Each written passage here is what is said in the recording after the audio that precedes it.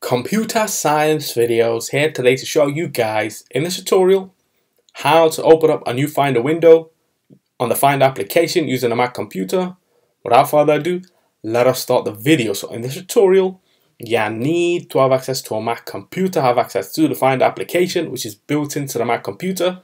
We can now start the tutorial before I start this tutorial, I would like to say that you are more than welcome to subscribe to my channel, Computer Science Videos. As we know, every problem is solved by indirection. You can also follow my Twitter account. We are trying to grow as fast as ever. I'm on TikTok. We post videos here and there. Follow my page on Facebook. I'm also on Instagram you are more than welcome to support me on PayPal. Let's now focus on the video. So now let's go all around to the dock, go to the Find application, and now in order for us to, let's just say, open up a new Finder window, what we will do is go to the toolbar on top, click on File, and there we go, New Finder window.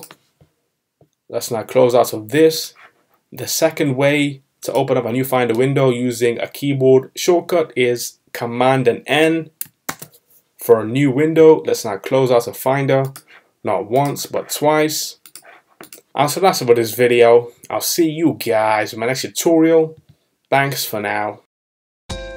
Thank you for making it towards the end of the video. Be sure to subscribe to my channel, Computer Science Videos. Be sure to check out the previous video on screen now or you can ideally click on the playlist and watch all the journey for computer science videos from the start until now